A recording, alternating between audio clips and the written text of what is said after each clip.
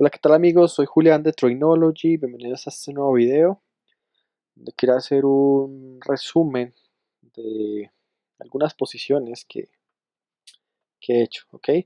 Creo que en el último video eh, donde les mostré alguna posición había terminado en, o había mostrado el, la operación de Netflix, ¿sí? En los earnings de Netflix, eh, que era un Iron Condor, ¿ok? Y a partir de ahí pues no, no había vuelto a, publicar. Y es básicamente todo esto pues, lo que he hecho, ok, a partir de ese momento que fue el 16, sí, 16, hoy estamos a, 23, ok. Eh, yo lo que hice para facilitar las cosas y poderles mostrar fue eh, escribir acá los instrumentos en los que he realizado operaciones, pues para poder filtrar y mostrarles pues cómo, cómo es básicamente, cómo se ve en la realidad lo que yo explico en los videos, ¿sí? Mi intención en los videos es simplemente que pues cada uno se eduque, la educación es gratuita aquí en todo el mundo, ¿sí? Eh, no, no, no recomiendo pues que hoy en día en una época con como esta, eh, llena de tecnología, de acceso a, internet, pues para qué pagar por información, ¿sí? Todo eso está en la red. Eh, lo que sí hacen muy pocas personas es mostrar sus operaciones, y más en una cuenta real, ¿sí? O sea, eso sí, en serio, yo no, no conozco, no conozco personas. Eh, entonces simplemente lo hago para que vean pues, cómo se ve, ¿sí? cómo, cómo, cómo se ve en la realidad, en una cuenta real, todo lo que yo explico. Eh, no es con otro fin, simplemente con ese fin. No estoy dando ninguna recomendación, simplemente para que lo vean, ¿sí? Porque pues, muchas personas se quedan enseñando y enseñando y enseñando y además cobran por eso y a la final pues, ni siquiera son traders, ni siquiera ponen una posición en real.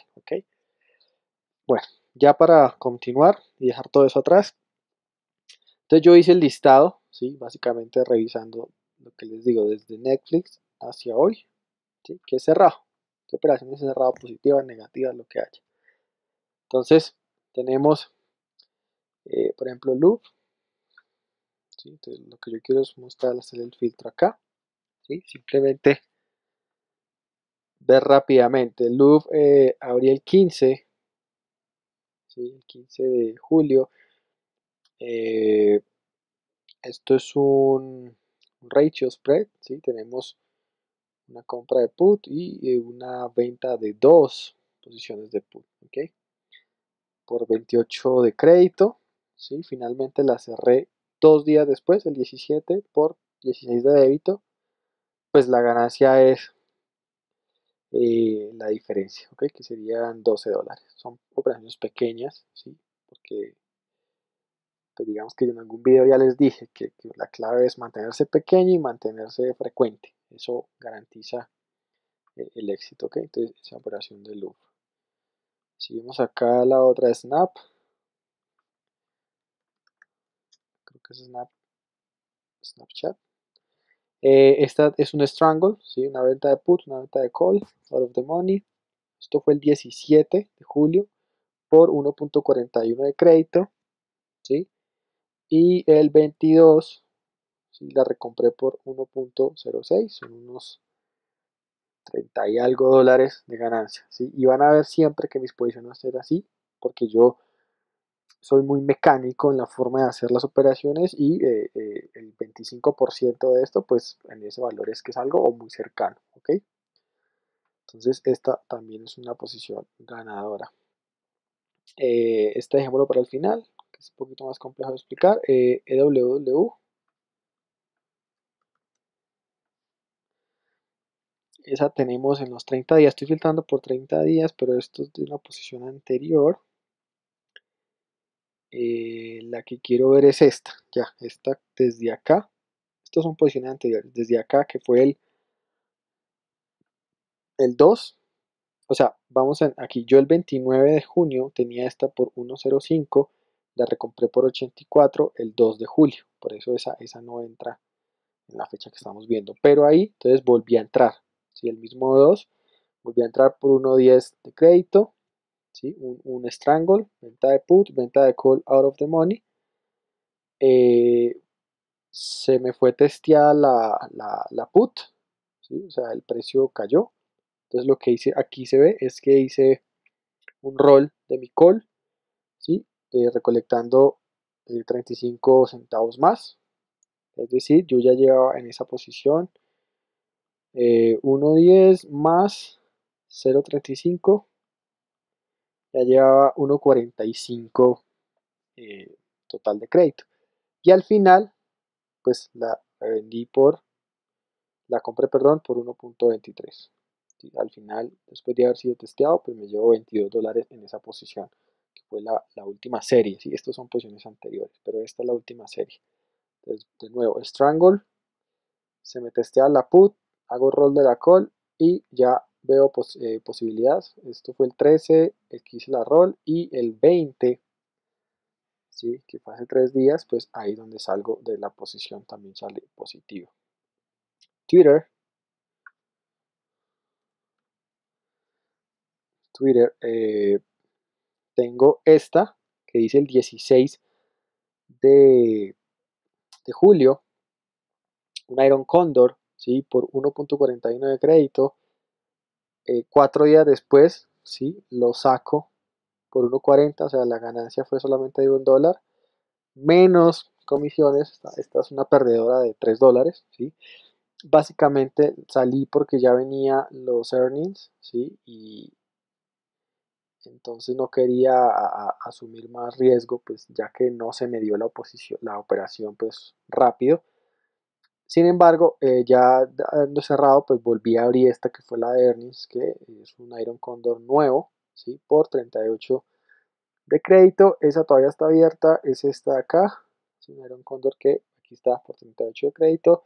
En este momento cotiza 34, por eso estoy 4 dólares positivos nada más después de Earnings. Eh, si mañana, viernes, no funciona muy bien, eh, probablemente prefiera retirarlo, ¿ok? Eh, la posición está bien, ¿sí? Eh, veamos aquí el gráfico, perdón, trades, vemos aquí la curva, ¿sí? O sea, no está centrado, o sea, está acercándose a mi call, entonces por esa razón, pues si no me funciona muy bien, salgo rápido de la posición, en el caso de Twitter, tengo esa abierta.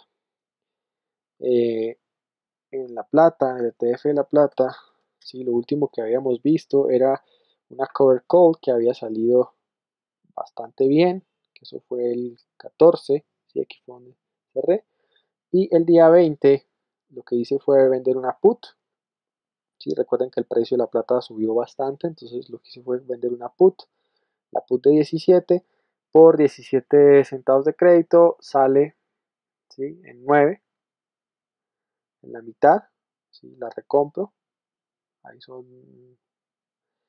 8 eh, dólares de, ganancia y eh, inmediatamente salgo, vuelvo y reajusto y hago la vendo nuevamente la put una naked put, o sea no tiene cobertura eh, de 18 ¿sí? por 43 esa también está abierta en este momento que es esta de acá que tiene la vendí por 43 y ahora cotiza por 29 ¿sí? está 14 positiva le faltan unos 5 o 6 dólares ¿sí? y eh, tengo trabajando la orden de salida. Por eso digo, soy muy mecánico en mis operaciones.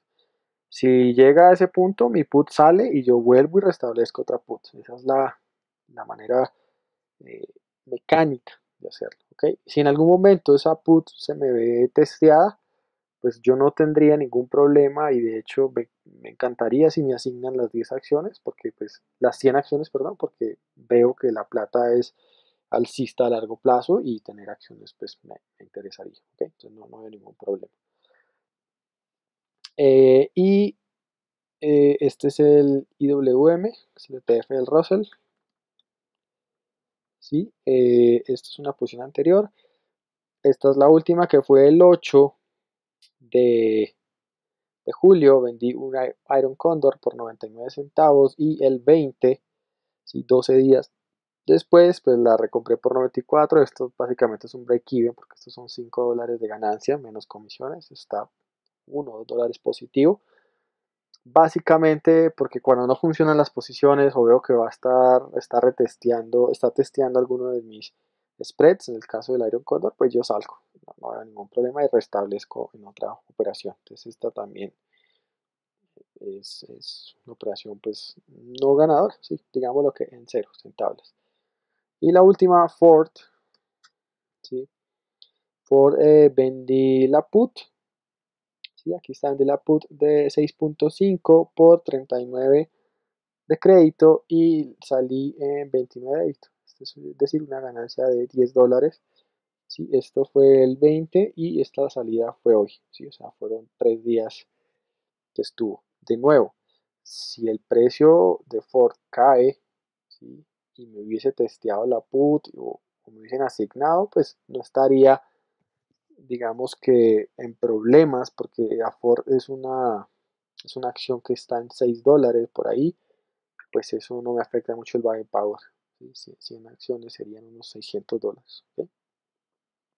Entonces, eh, si me la asignan, ahí entra otra estrategia. Eso es interesante. Si yo quedo con 100, 100 acciones asignadas, comienzo a vender calls en contra de las acciones. Y en algún momento voy a tener la máxima ganancia y se me van a desaparecer las acciones y la call. O si no, pues me sigo manteniendo mis acciones y mi call me va generando ganancias.